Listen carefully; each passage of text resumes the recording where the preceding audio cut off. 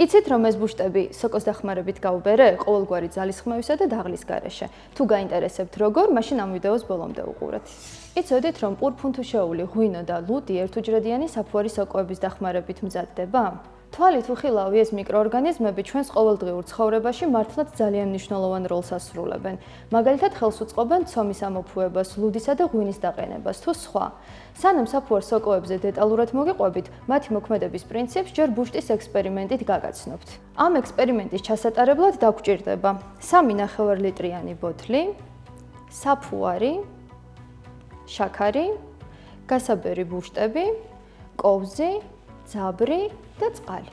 შეგვიძლია დავიწყოთ ჩვენი ექსპერიმენტი. 3.5 ლიტრიან ბოთლში ვათავსებთ საფუარს.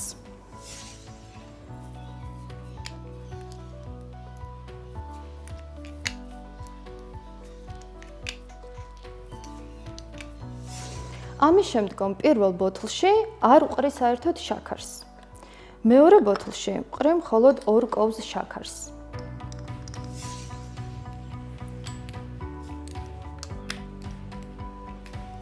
ხოლო მესამე ბოთლში ვათავსებ 4 კობს შაქარს.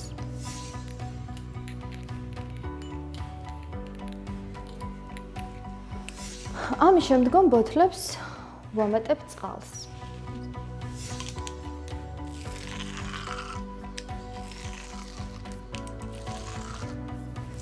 ახლა კი ბოთლებს სრულად შევავსებ წყლით. სამივე ბოთლი თითქმის ბოლომდე შევავსე წყლით. თავზე დავაფარე და ახლა თითოეული მათგანი კარგად შევანჭრიოთ.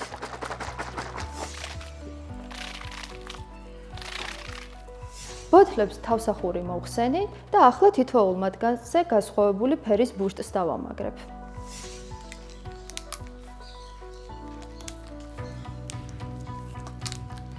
ახლა კი შეგვიძლია დავალოდოთ ექსპერიმენტის შედეგს.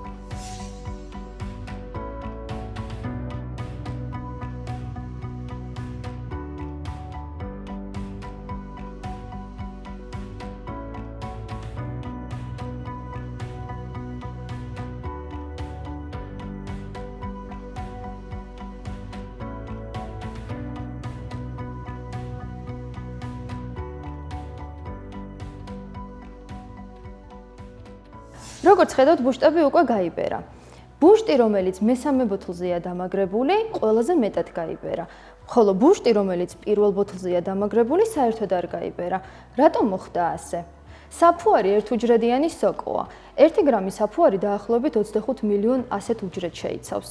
მათი დანახვა კი მხოლოდ მიკროსკოპითაა შესაძლებელი. ამ ნივთიერებას ათასობით წელია იყენებენ პურის ცხობასა თუ ღვინისა და ლუდის წარმოებაში. მაგრამ საინტერესოა, როგორ ეხმარება საფუარის სოკო ცომს აფუებაში და ყურძნის წვენს დაღვინებაში. საფუარის სოკოს მოქმედება რამდენიმე ფაქტორზეა დამოკიდებული: მის საკვებზე, საკვები პროდუქტების გადამუშავებასა და ნარჩენი პროდუქტების გამოყოფაზე. საფუარი შაქრითა და სახამებლით იკვებება. იგი ბოთლში ჩაყრილ შაქარს მოიხმარს, მას შლის და გამოთავისუფლებულ ენერგიას იყენებს.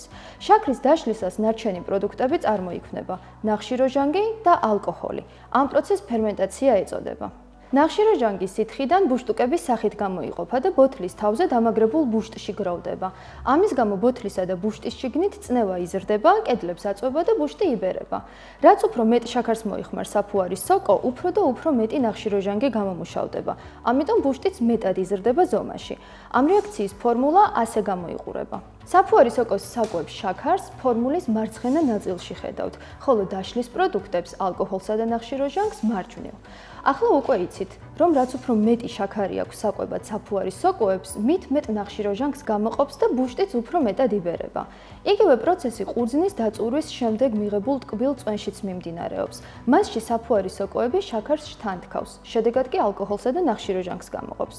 ნახშიროჟანგი ღვინის დადუღების პროცესში ბუშტების სახით გამოიყოფა. ტკბილი წვენი კი ალკოჰოლურ სასმელად ღვინოდ იქცევა.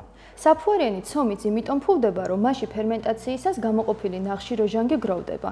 იმედი მაქვს, ეს საინტერესო პროცესი თქვენთვის მეტად გასაგები გავხადე და ბოლოს თქვენი აზრით, რატომ არ ეცხავენ ყურძეს დაწურვამდე? ან რატომ აღარ შეიცავს ალკოჰოლს გამომცხარი პური? ამ კითხვებზე პასუხი შეგიძლიათ კომენტარებში დამიტოვოთ.